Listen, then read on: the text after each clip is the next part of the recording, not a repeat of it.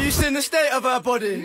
If I beat it, I ain't wearing a Johnny. Adiola, wanna roll with a geezer. Is it me on a lifestyle, sweetheart.